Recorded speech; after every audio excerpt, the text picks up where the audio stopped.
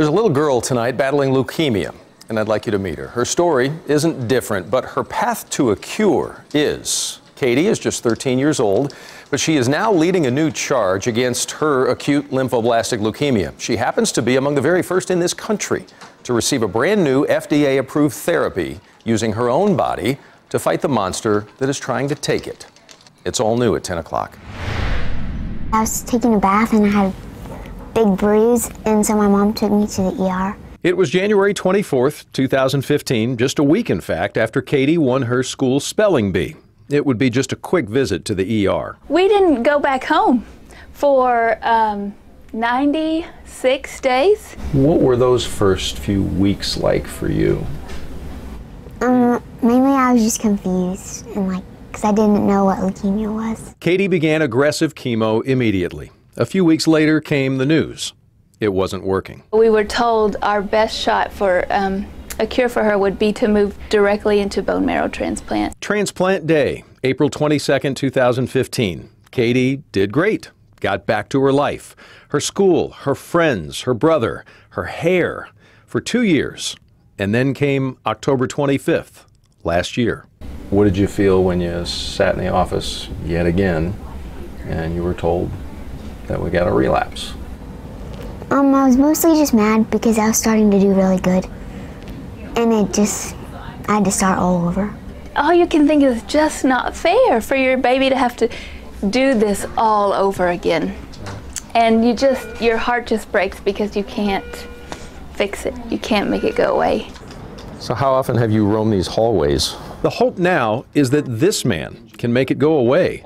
Dr. Ted Laetsch is Katie's pediatric oncologist at UT Southwestern and Children's Health and just happens to be part of the research team that made history developing the recently FDA approved therapy called CAR T. We're teaching your immune system to fight your cancer. The way we do that is we take out a specific part of your immune system called your T cells. We then engineer those in a lab or change them in a lab so that they can attack your leukemia. And we give them back to you where they're alive and they grow and they multiply in your body. And then they're attacking and killing those leukemia cells. Katie received her newly engineered T cells on the 6th of January and dared to dream of simple joys. I'm just feeling normal and getting like getting up every day and having something to do and somewhere to go. Four weeks later, she heard the word remission.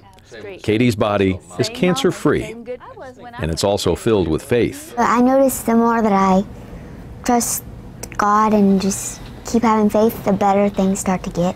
Mm-hmm. Well, that's saying a lot, right? She makes me proud. Makes a lot of people proud. So, this CAR T therapy that Katie received is available right now all around the country. It's for ALL patients who are under the age of 25 and they've relapsed twice, like Katie. She happens to be one of the many reasons that I have continued my mission personally for the Leukemia and Lymphoma Society. 27 days from today, I'll be back in Hawaii taking on the Lavaman Triathlon, another tough race, but every single step raising money for Leukemia and Lymphoma Society. Right now, just so you know, every single dollar donated to my campaign for the next few thousand will go directly to LLS and they will be matched. If you give 50, it'll become 100, just like that from a wonderful donor. We're going to post Katie's story on our website. I will have a link to my fundraising page there selfishly. I'd be honored to have your support in our fight against blood cancers. And let me tell you the connection that blows me away, guys. 2016, I did the Ironman uh, Kona World Championship. Right. We raised nearly 160 grand that year. That therapy was a dream that year. Some of that money that we raised helped fund the research of what? CAR T. CAR T. That is now FDA approved and in Katie's body tonight. Doug, we know this is a cause near and dear to your heart, so thank you for what Yeah. you do and thank you for sharing Katie's story because Katie is beautiful and you've got this, and we're grateful that you're able to share this. Cancer sucks and we got to do something Yeah, about it. absolutely. Do what little I can. Doug, we, and we appreciate it. And we know that you you. take every single, eh, yeah, every single one of them with you as you're running, as you're biking, as you're swimming. Their faces are right there in your memory as you're going. So we appreciate it. Thank you so much, Doug.